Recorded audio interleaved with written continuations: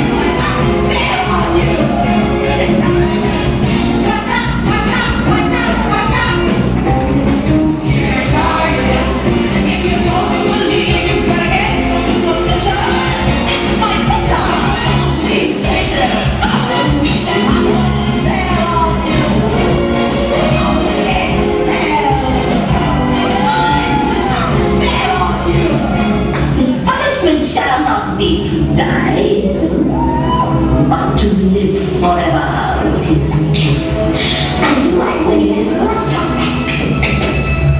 Twist the bones and mend the back. Each to cut and back. Bring him mother's baby. Each to cut and. Give him fur back.